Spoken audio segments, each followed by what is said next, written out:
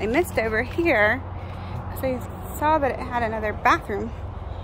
So, over here, you have a little storage area.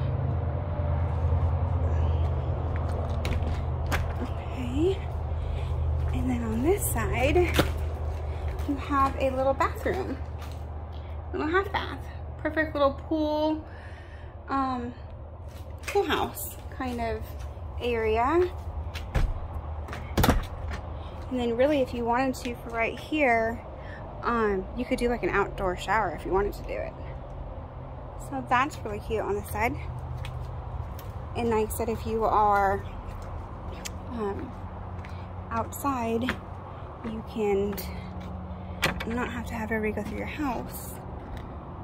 That's on that side of the gate, just Greenland. That little pump station.